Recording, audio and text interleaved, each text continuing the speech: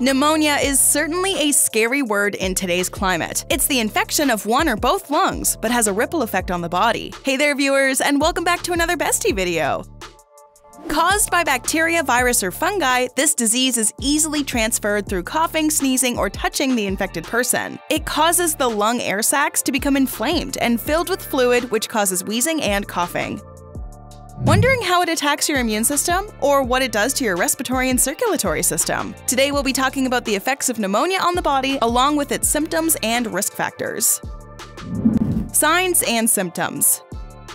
The signs and symptoms for pneumonia range from mild to serious and can affect children, older adults, or senior citizens. Older folks have a higher chance of developing life threatening complications associated with pneumonia. Some obvious ones include chills, cough with or without mucus, fever, chest pain while breathing or coughing, shortness of breath, low oxygen levels in the blood, headache, loss of appetite, fatigue.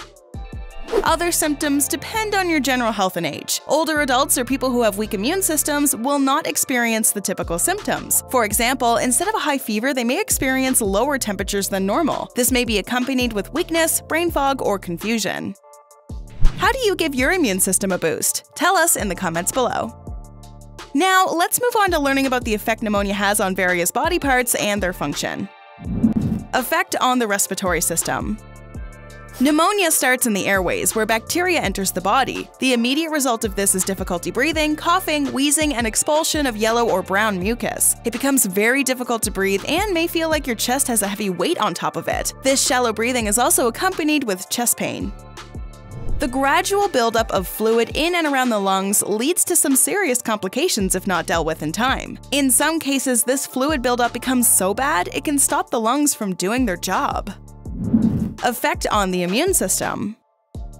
The body depends on the immune system to fight off germs, viruses, or any other foreign substance that enters the body. If your immune system is healthy, then you'll be able to recover with antibiotics and rest. If your immunity isn't as strong as it should be, you're at a much higher risk of developing pneumonia related complications. Under normal circumstances, the body's immune system is able to ward off the bacteria attack from the lungs as a natural response. However, in some cases, the bacteria is quick to reproduce in the lungs, even while the body is trying to fight it off. This triggers a response of inflammation in the lungs and causes significant chest pain and eventually pneumonia. Effect on the circulatory system.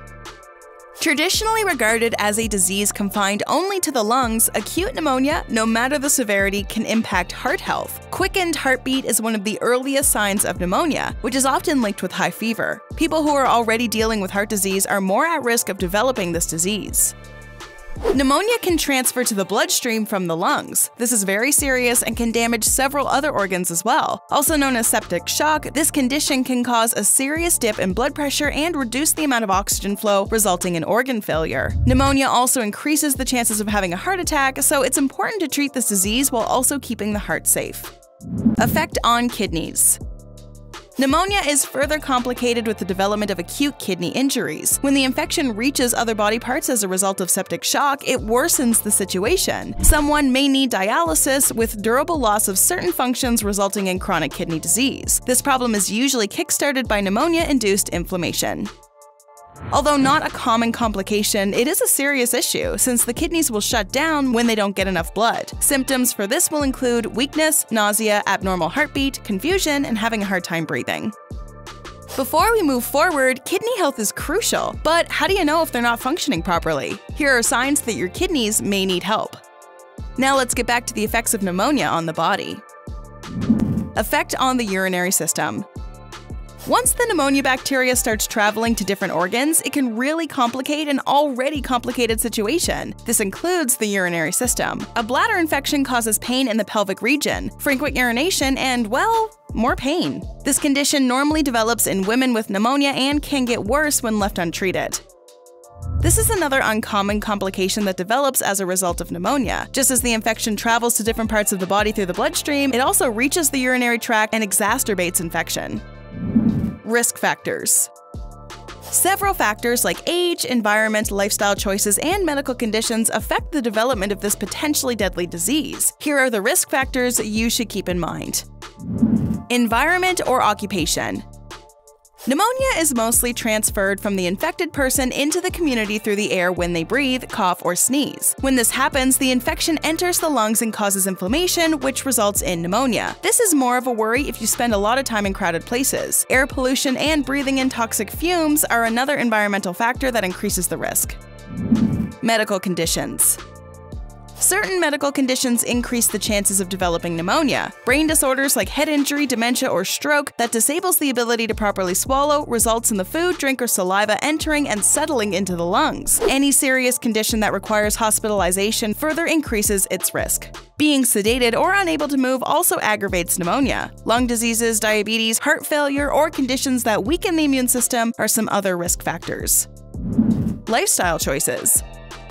Cigarettes are always harmful to health. However, when it comes to pneumonia, smoking cigarettes further worsens the situation as it directly affects the lungs. It also makes it very difficult for the lungs to get rid of the mucus buildup. Other than smoking, using drugs and drinking large amounts of alcohol play a major role in weakening the immune system. Age Pneumonia doesn't come with a warning sign. It can affect people of all ages. People belonging to these two particular age groups are at a much higher risk of developing pneumonia and its complications. The first is infant children or kids below the age of 2 years because the immune system is not fully developed. In the similar manner, adults and senior citizens over the age of 65 are at a higher risk due to the weak immune systems. The difference between a cold, bronchitis, and pneumonia. Sniffing, coughing, fever, and feeling miserable are some of the most common traits for a cold, bronchitis, and pneumonia. While most cold symptoms gradually go away on their own through resting and drinking fluids, these symptoms can overlap with other serious ailments. For example, fatigue is another symptom which is common in all three cases, but in the case of pneumonia, it's also followed with high fever, chills, and nausea. Let's check out the difference in detail. The cold. The cold is a type of viral infection that mainly affects the upper respiratory tract, including the nose and throat. Symptoms include sore throat, runny nose, constant sneezing, cough, and a low grade fever. Medication will ward off the symptoms, but it will not cure the cold. Bronchitis. This is another type of viral infection that mainly affects the bronchial tubes. Instead of the nose and throat, it harms lung function. Just like the common cold, it'll only go away with bed rest and drinking enough fluids. Symptoms include wheezing, chest pain, trouble breathing, and fatigue. Pneumonia. Pneumonia is caused by either fungi, bacteria, or a virus. Pneumonia is the disease that stems from the lungs and requires medical attention. Its symptoms differ from person to person and they're very different from bronchitis and a cold. Its symptoms are chills, nausea, vomiting, diarrhea, trouble breathing, chest pain, and wheezing. It goes without saying that pneumonia is a deadly disease that needs immediate medical attention. The moment you start noticing some of the signs and symptoms, get yourself checked. The best thing is to avoid all the risk factors associated with this lung disease and focus on keeping your lungs healthy. You can breathe easy by reversing lung damage in these 10 ways. Also, eat these lung-friendly foods. These two videos will make sure your lungs are in good condition.